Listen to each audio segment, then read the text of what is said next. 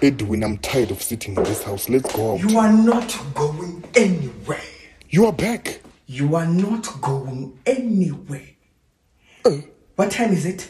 10 p.m. And what are you trying to tell me? Sit down. Nothing. Stephen. Nda, Stephen. nda, Stephen. nda. You're a bad influence. Hayi I don't like you. And I will never like you. You disgust me. I'm about to cancel you from coming to my house. You will be disowned soon.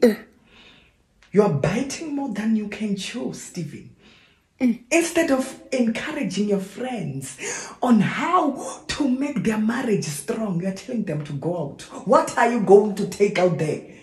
You're going to make other women pregnant. Other men are sitting with their wives planning how to strengthen their relationship. Where is your relationship, Stephen? Nonsense. He's single. He wants to destroy your marriage also so that you'll be even.